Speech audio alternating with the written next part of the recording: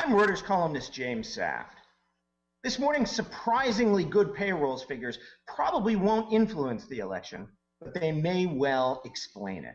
Across the board, it was pretty positive. Strong job numbers, revisions up, labor force partici- participation up, unemployment ticks up, but that's driven by people getting back in the hunt. On the whole, if you think Obama was going to win, and I think he probably was, this isn't going to change your mind. So that moves us forward to what happens after the election. And people are going to rapidly be focusing on what this means for the Fed, because the Fed is pretty much the force that's supporting markets where they are. I actually think this might put risk assets in a fairly sweet spot.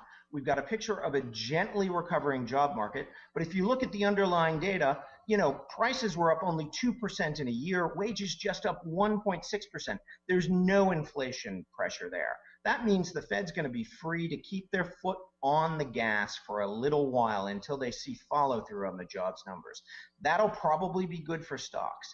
My anticipation of what happens in the next week is that we move to the election, Obama wins, people worry about the Fed, they ultimately dismiss those worries, and we move on to the next issue, which is going to be the fiscal cliff and the bargaining that happens after the election.